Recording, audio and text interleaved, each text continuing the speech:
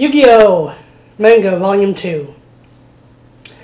The first story, titled The Poison Man, no, uh, not that one, has Jonouchi visiting this clothes and shoe shop called The Junkie Scorpion. I think I went somewhere like that once when I was a kid and got these uh, beach sandals with blue scorpions on them. A long time ago.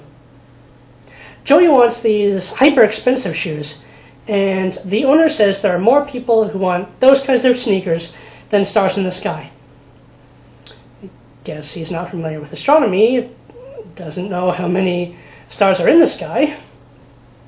Anyway, uh, he puts this challenge to Joey uh, to put his shoe in the sneaker, and Joey actually accepts the challenge himself.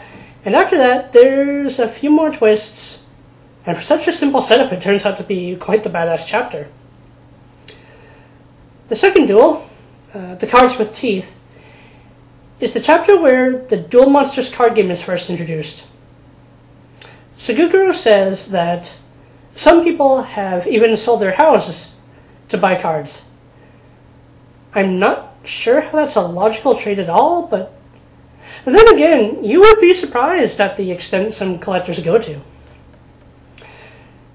This chapter is also the first appearance of Seto Kaiba, who sees Sugoroku Muto's Blue Eyes White Dragon, as he is showing it uh, to Yugi, Joey, and friends. I won't give away how the duel plays out, but this is not the duel where Yugi summons Exodia. It's one before that. Uh, we get something a little different happening. The third and fourth chapters, titled The Wild Gang, is a two-parter story where a gang of thugs recruits Joey Jonouchi back into their gang.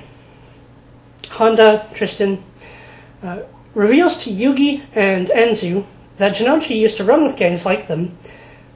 I think this very gang. And actually was a sort of control on them. A leader who would run wild with them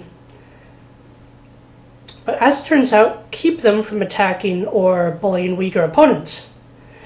That's an aspect of Joey's past that I wish the first season anime had touched on.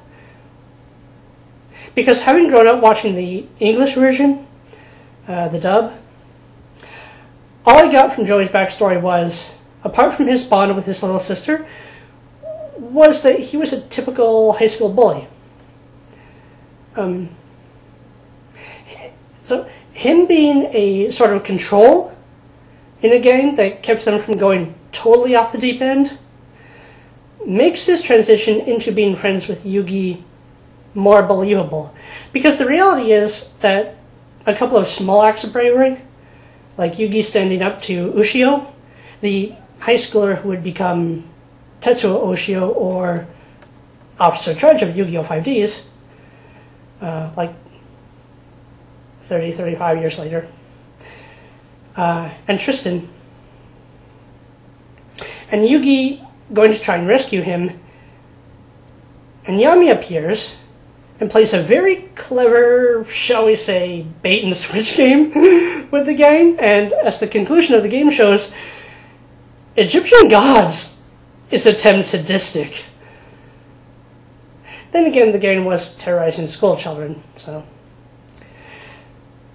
Duels 13 and 14 are combined into another two-parter titled The Man from Egypt, and we learn that the archaeologists who discovered and brought back the Millennium Puzzle all died mysterious deaths. Nonetheless, the kids go to the Domino, City's, Domino City Museum's Egypt Unearthed exhibit. Oh, just to mention, I was watching this archaeology series, America Unearthed, following a forensic archaeologist named Scott Wolter as he um, investigates um, mysteries in the Americas, not just North America, South America too. Um, overlooked mysteries, hidden mysteries, um, you know, artifacts that were rumored to be hoaxes. Many of them turned out to be genuine. Uh, you know, new twists on legends. Amazing series. And, oh, just to say also, telling, well, not just kids really, anyone with a sense of adventure, that someone who brought back an, brought back an artifact or went to this place, uh, everyone in the team died mysterious deaths. That's only going to guarantee they're going to go check it out more. Just human nature. There's an interesting little panel in the beginning of the story where Yugi says to Professor Yoshimori, uh, one of Professor Suguramoto's friends, uh, well, is Grandpa Professor? I don't know. Uh, uh, uh, the the anime suggests that he is a retired archaeologist or whatever. Um, I thought archaeologists were treasure hunters with dreams of hitting it big. Um, Yugi says. Yoshimori says to him, No, that's just in the movies. Archaeology is one of the worst paid professions. As is paleontology, which I should know as I am one. Well, I'm both an ecologist and a paleontologist. I'm I dabble in many different sciences, but uh, I'm find and I'm finding finding it extremely difficult to score anything more than volunteer work. That's why it usually can't be your one source of income in the real world, and is why in the movies, uh, Indiana Jones was a university professor as his paying job. This was back before universities betrayed their commitment to reason, evidence, and intellect and became purely leftist tantrum fests. Turns out Yoshimori is a uh, university professor as well, again, before well got totally screwed up. Um,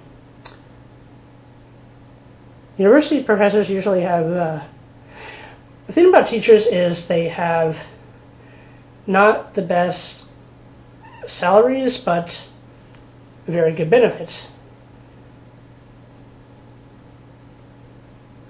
Not exactly sure how it works in Japan, but anyway.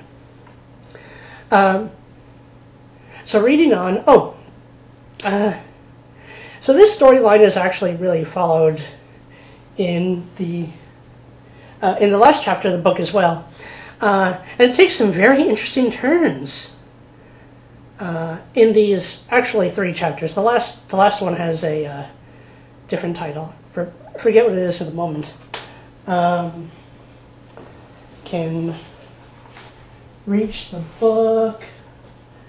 Second, the last chapter is called The Other Criminal. And it's not a part one. Okay, so um, this is a really awesome Yu Gi Oh! volume. I definitely see why and how this story was meant to be about so much more than just the Duel Monsters card game. But the game is fun. I started building and adapting and playing my own decks from all the way back from its original release in North America in about uh, so 2002. All the same, I do wish we'd have we've gotten creepy stories like those in this book. And the anime has pieces of some of them. Um, the season zero sub anime has a little bit more, I don't think it adapts all of them, but um, we'll uh, continue looking through this series with Volume 3.